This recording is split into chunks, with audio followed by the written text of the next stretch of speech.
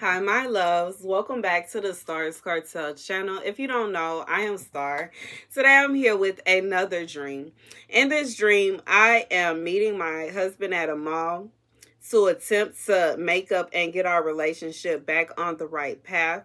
When um while we are there, he does some things and says some things to make me upset, and I decide to leave.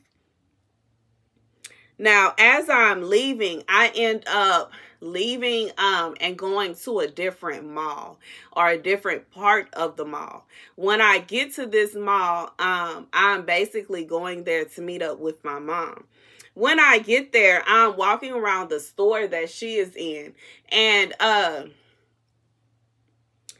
he sends people, okay? He sends a group of girls to come up there to try to fight and rob me. Well, jump, okay? Because it wasn't just one, it was a group. Okay. As we are getting into it, they keep specifically going after my wedding ring and trying to snatch it off my finger. However, my mom sees this and she calls security.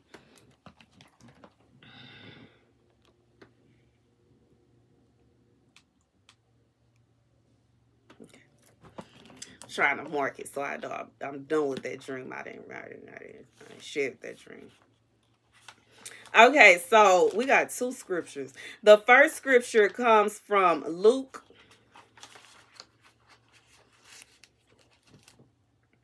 This is Luke um, 1 and 67. His father Zechariah was filled with the Holy Spirit and prophesied, Praise be to the Lord, the God of Israel, because he has come to his people and redeemed them.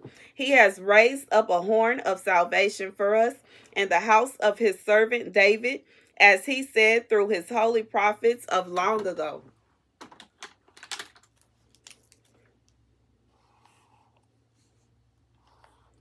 Okay, and the second scripture comes from John 19 and 14. Here's your king, Pilate said to the Jews, but they shouted, Take him away, take him away, crucify him. Shall I crucify your king? Pilate said.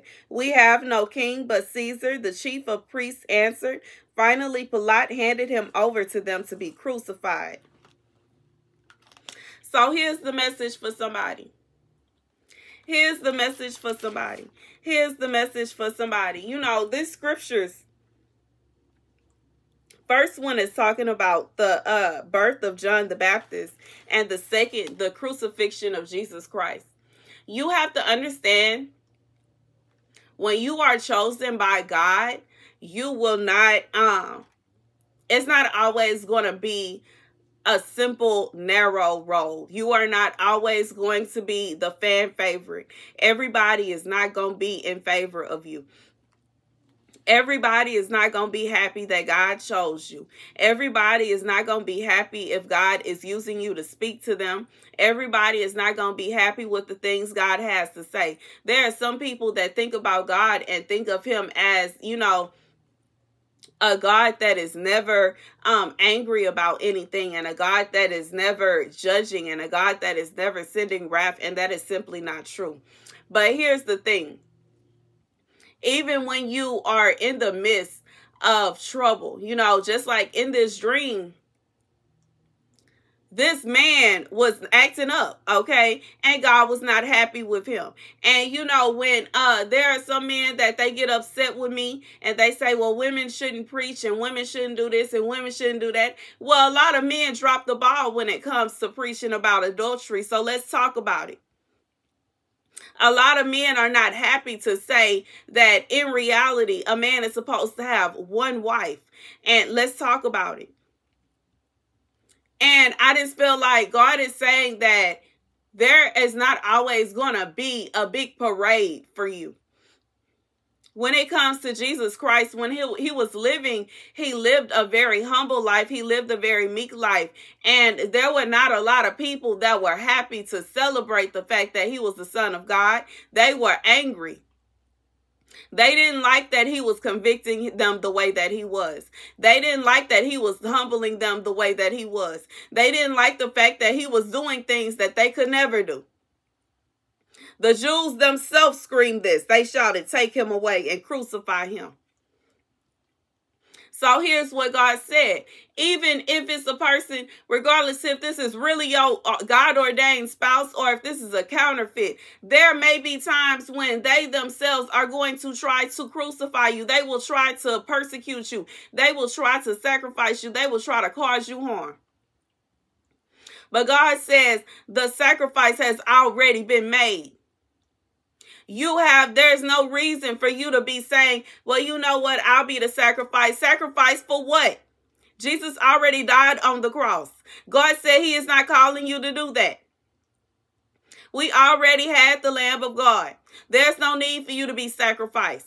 So this is for someone. This this is it could be a situation where you are being asked you know this person could be asking you to sacrifice your uh your loyalty to God. God has already told you that this person wants to do things that he is not okay with.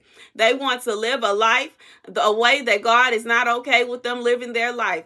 Regardless if this is somebody they want to have multiple spouses, they want to be able to have as many mistresses as they can fathom. And they want to be able to, some of them, you know, it could be a situation where they want to be on the down low and you just sit there and allow it. And they want you to accept this, that, and the third. God said no. And they can try to put you on a chopping block as much as they want to, but it will not come to pass, says the Lord, because you are doing what he asked you to do.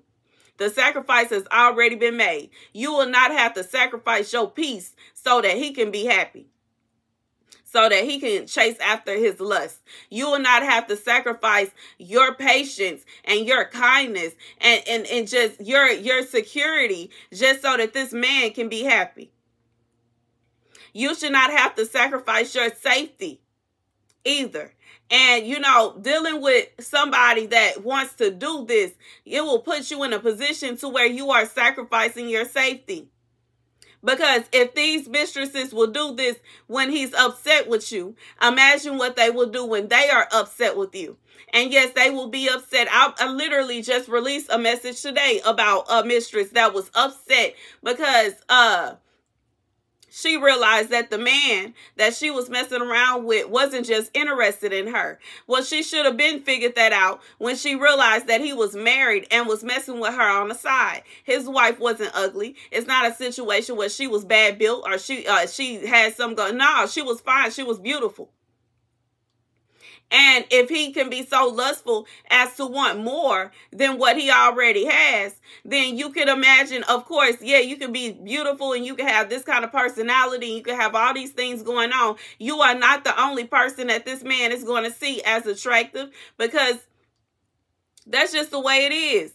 And you know that this is something that is common knowledge. Yes, you may have a very beautiful spouse or a very handsome spouse, but there's always going to be somebody that's prettier. There's always going to be somebody that has a nice body. There's always going to be somebody that keep their hair and their nails done. It's always going to be somebody that got a wonderful personality. But that does not mean that you are it's okay for you to go and mess with them. That does not mean that it's okay for you to go and chase them down. That doesn't mean that it's okay for you to be with them. And you know, it, it also like I just feel like for somebody, you may have found yourself in a position to where you your spouse deliberately comes up with arguments and they want to fight with you and they want to go back and forth with you so that they can get you to do what they want you to do. And you tell them no, you put your foot down it and you mean what you said. And they want to try to send people to try to fight you to get you to bend to their will. God says you will carry on doing as he asked you to do regardless if what he asked you to do is to file for divorce or if what he asked you to do is to go about your business and be by yourself. It is what it is. But if they don't want to bend to the will of God, they cannot expect to receive blessings from God. And that's the truth.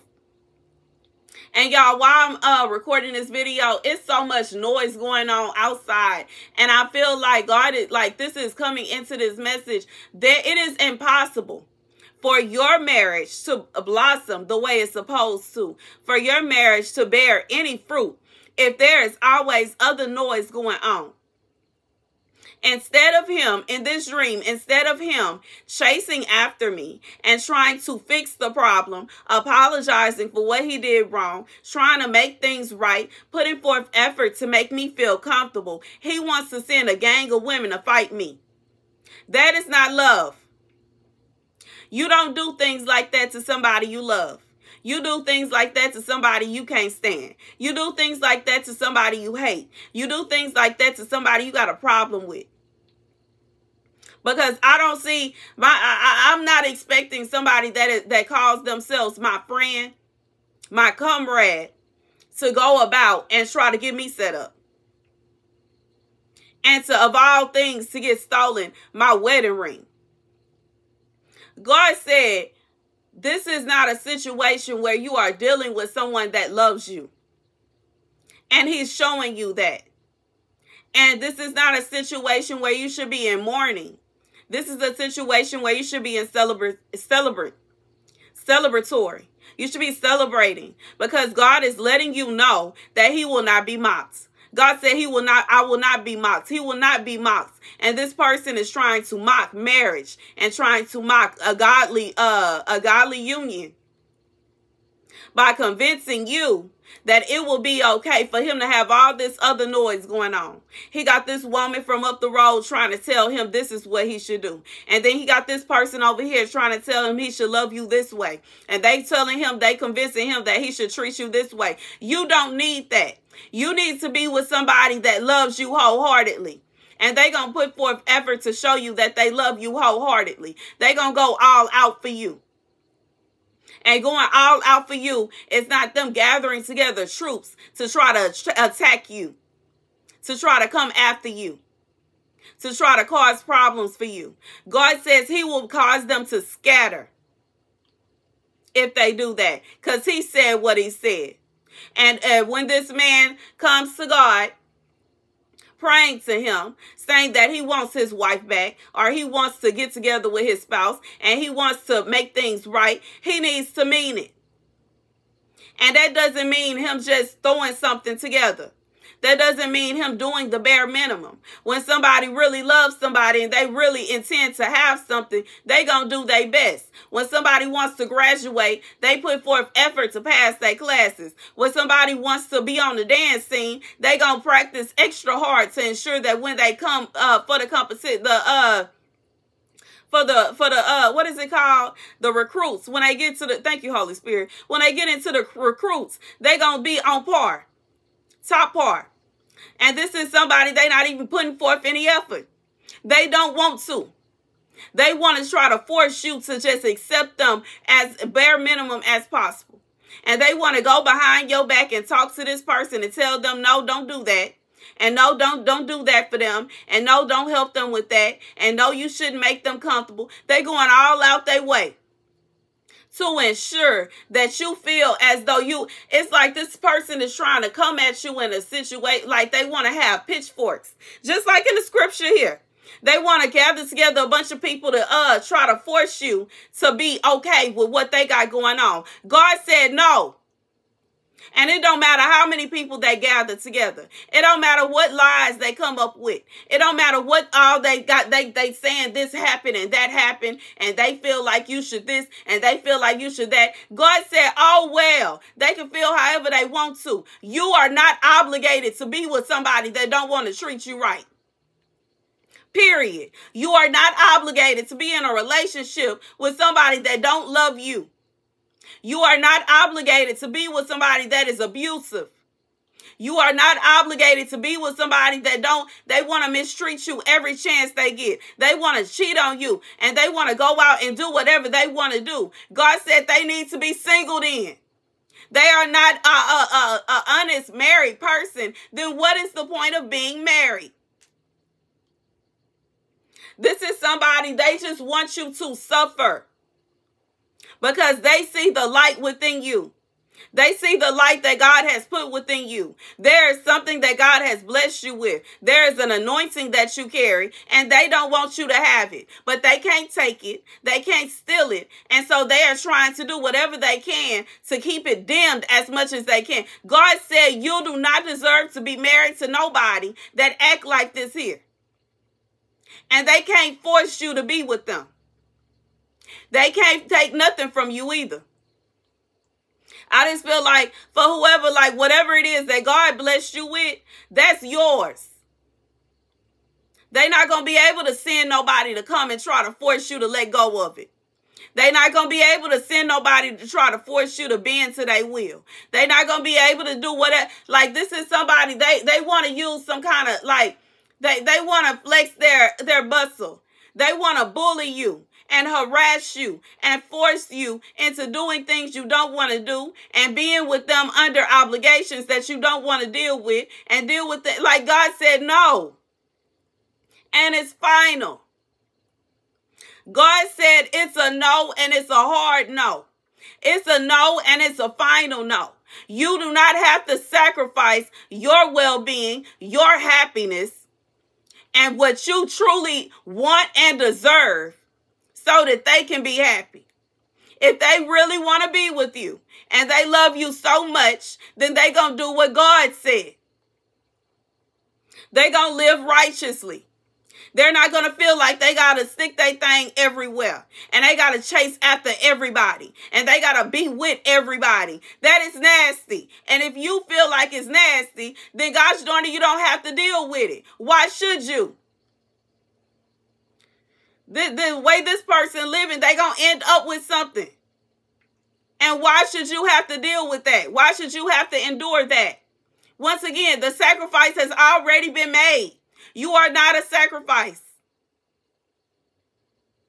And that's the message. God said, let them go. They can send whoever they want to. They going to have to deal with God. And that's what God said. And that's what God said. And that's what God said. God said that you are not going to have to deal with them just cheating on you whenever they feel like it. God said you are not going to have to deal with them trying to send a group of thoughts to come after you and try to fight you and steal from you. God said you are not going to have to live a life where you are unhappy and miserable. Why should you? And if they really love you, they would get right with God. They, they wouldn't be trying to force you. This person, I, I just feel like God is saying this person trying to be right with Satan. And that's their business. But they ain't got to force you. They, they can't force you to accept that. They cannot force you to accept that lifestyle. And I, I just feel like for whoever this is for, God is saying, even if this person is trying to make you uncomfortable, even if this person is trying to make you feel as though you're unwelcome everywhere except for in the, the hellhole that they have created. God said he will open up doors for you where you'll be fine.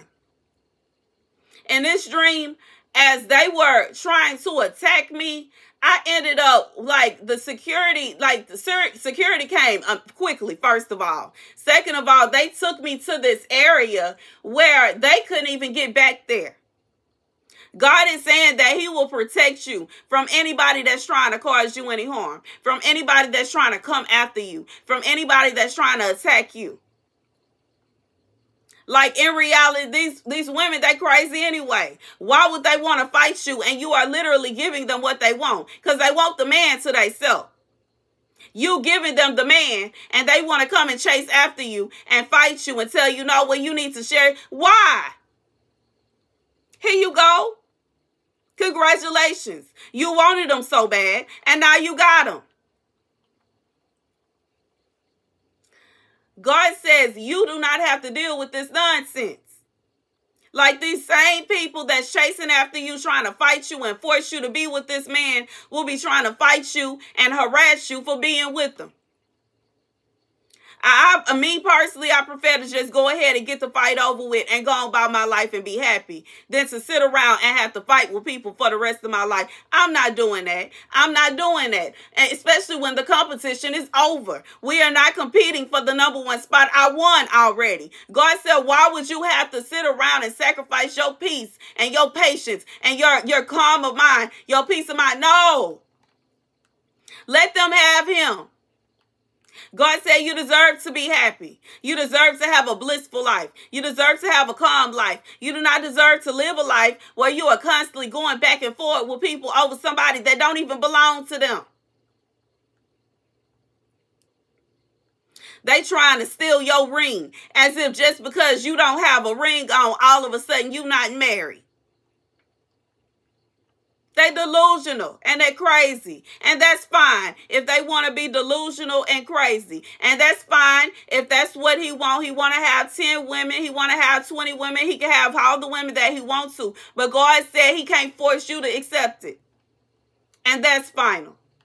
And that's that. He cannot accept you to be okay with that. He cannot accept you to be into his will. He cannot accept you. He cannot uh, uh, force you to do any of this. And you don't have to accept it. He can't force you. He cannot make you.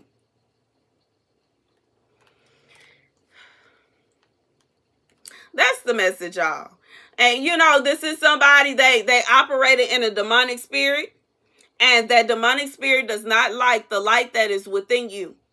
And, you know, just like us, this demonic spirit wants to go around and be with all these people. But the light within you says, no, you don't want somebody that's an adulterer. You are not going to accept them being an adulterer. And you are going to take the option that God has given you due to the fact that you know that your spouse has cheated on you to go ahead and separate from them. And that's your right. They're not happy about that. They're not happy about that. They want to try to twist and turn the words of God and tell you that you're wrong and you're supposed to just accept it. No, you are not. You are not obligated to be with somebody that wants to be unclean. You are not obligated to be with somebody that is constantly defiling themselves. You do not have any, it's not, you are not in a, it's not a situation where you're forced to do that. God says he is not forcing you to do that. He is not going to force you to be with this nasty man. And that's that. And if those women want to share him, that's their prerogative. But you don't have to. You don't have to deal with it. You don't have to deal with it if you don't want to. And you know, and, that, and that's that's what it is. And that's the message. That's the message. Thank you guys for watching. Be sure to like, share, and subscribe. Deuces.